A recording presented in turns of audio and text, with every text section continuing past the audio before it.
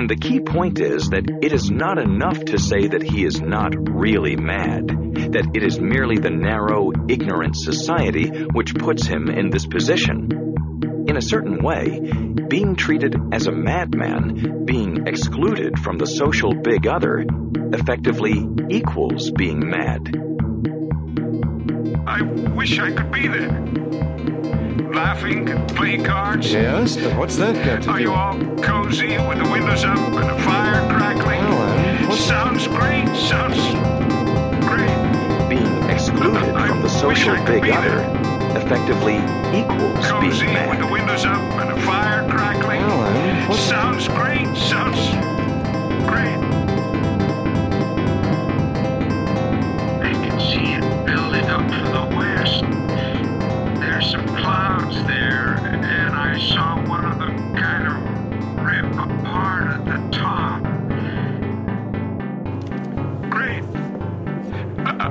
Wish I could be there.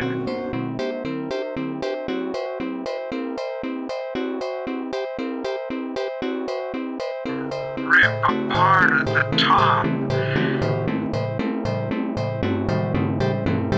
Effectively equals being mad.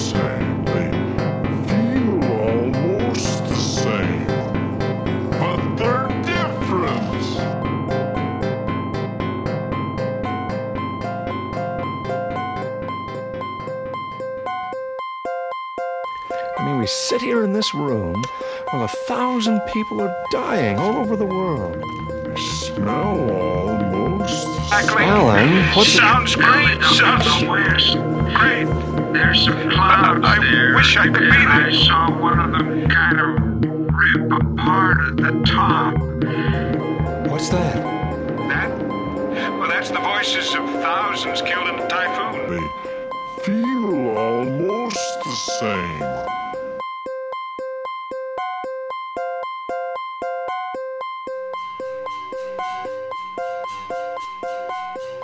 When a screen intervenes between ourselves and the real, it always generates a notion of what is in itself beyond the screen of the appearance, so that the gap between appearance and the in itself, so that the gap between appearance and the in itself is always already for us.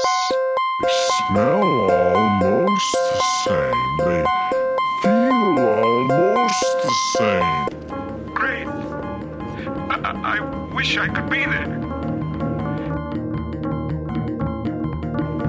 I, I I wish I could be there. I mean, we sit here in this room while a thousand people are dying all over the world.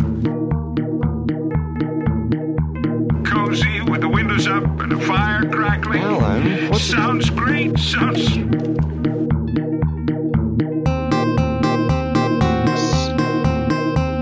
Consequently, if we subtract from the thing the distortion of the screen, we lose the thing itself.